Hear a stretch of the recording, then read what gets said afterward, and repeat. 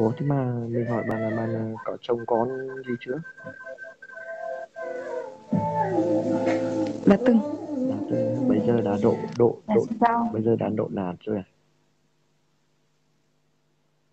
nạt luôn rồi. Nạt rồi á. bây bây giờ bây giờ cho Tuấn Hưng à, để ghép lại có được không? Tuấn Hưng quê ở đâu vậy? À, Tuấn Hưng Nghệ An à Tuấn Hưng quê Lạng Sơn thế mà nói giọng miền Trung hay vậy ta Ồ, mình á, mình nói như nào cũng được hết, nói giọng bên nào cũng được, nói cái gì cũng được hết trơn.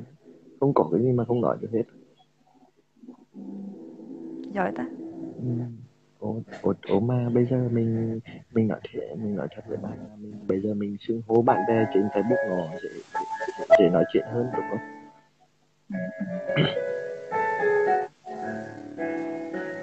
Ờ, à, mèo cha nã cả nói chúng đừng có có lối cái chuyện tiền nóng vào đấy nữa đi.